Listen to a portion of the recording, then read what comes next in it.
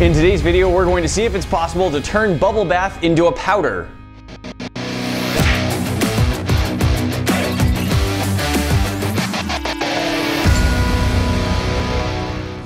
Nate, something that I've never actually uh, wanted in my life is when I'm putting on sunscreen. I've never been like, you know what, this could be more powdery. I think you're right. I haven't wanted that ever either. But, we're gonna find out anyway. Somebody did. Somebody did. We've got four substances that you guys have asked to see us freeze dry to see what happens to them. So we're going to, and we're gonna find out what happens. We've got bubble bath. Mm-hmm. You know, throw this into the bathtub and get a lot of foam, or put it in a fountain and ruin someone's day. or make their day amazing. This is bubble solution for blowing bubbles, and then we've got sunscreen. And then we also have some mouthwash, and we're gonna try freeze drying all of these. Here's the basic idea. Once again, our video idea comes from our viewers. We've got four different substances we're going to try to throw in our freeze dryer to see if we can turn them into a powder. We've got bubble bath, sunscreen, mouthwash, and bubble soap.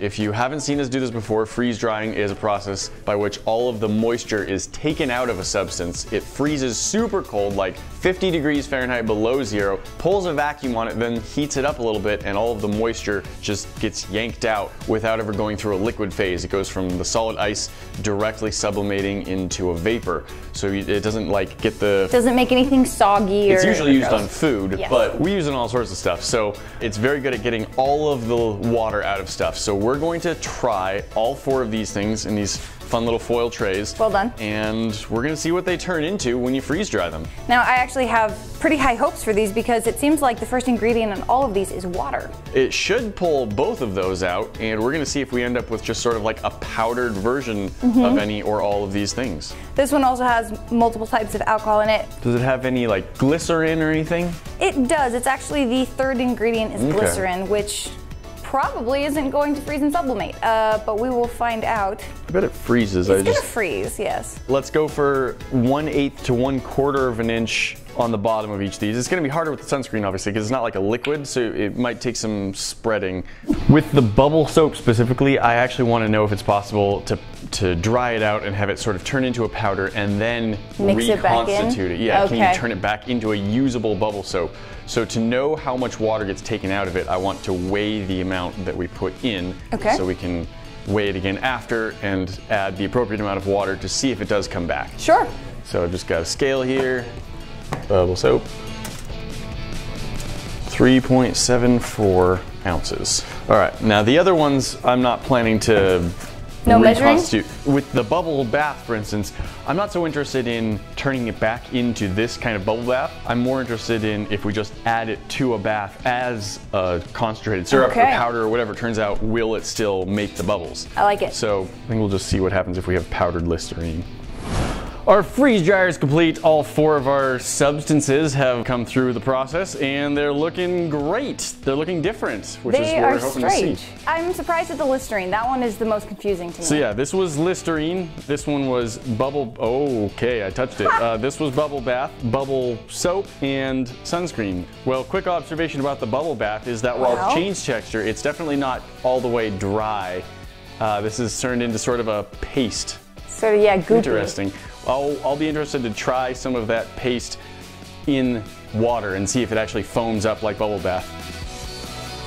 There's like no smell to it at all. Really?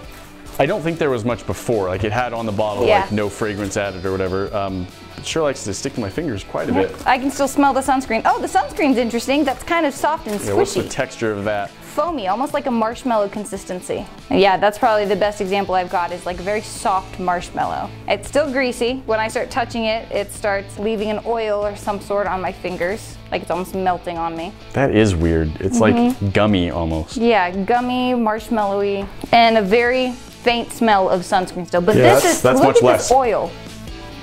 Normally Like- sunscreen has a pretty good scent, but yeah, yeah, it leaves like Grease. definite a definite film all over everything. Okay.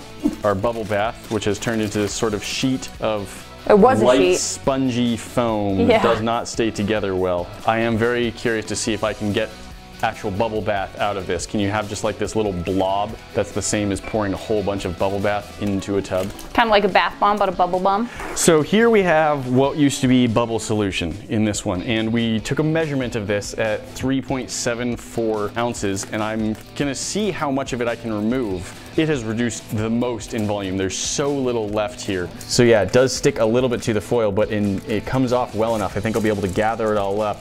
Okay, zero ounces. See if I can get all this off into the cup. And we are at 0.11 ounces. so let's add water into this up to the 3.74 and see if we can dissolve it in and get bubbles out of it again. 3.74 exactly. Perfect. Now we have to see if this blob of weird waxy goo will dissolve back into here and turn it into proper bubble soap. Are there other ingredients that were removed by the freeze dryer along with the water that we just don't know about? Similar to how the Listerine lost the alcohol. Yeah, content. our Listerine had had 21% alcohol, which is also gone. So this is interesting. This one seems to have become crunchy.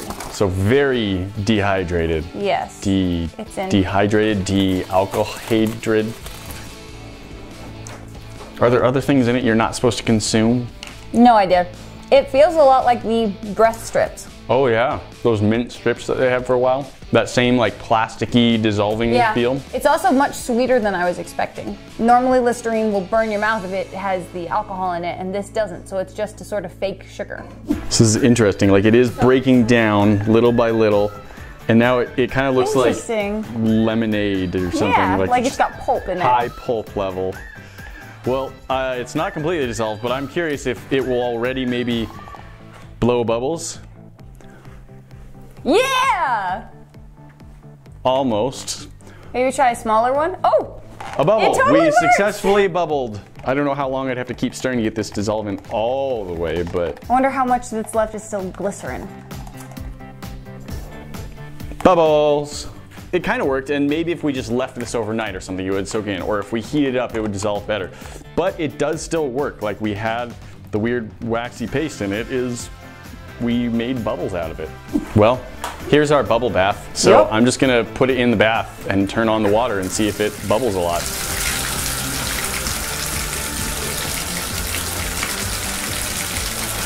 Fun fact about bubble bath, having bubbles at the top of your bath can significantly increase the amount of time you have hot water because it acts as a sort of air cushion at the top of your water so less heat escapes. At this point it just feels like when you have like a bar of soap and then there's just like a little bit of it left at the end and it ends up getting really soft. That's exactly what it feels like at this point.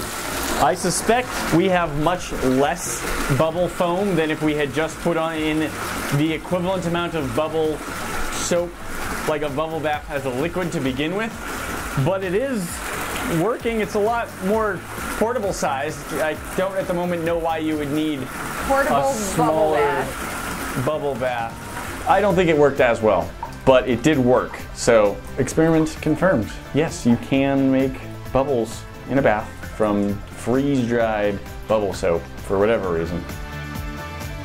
Hey guys, thanks for watching. To see more, click right here to watch our latest video and click down there to subscribe to the channel. See you in the next one. Talk to you then.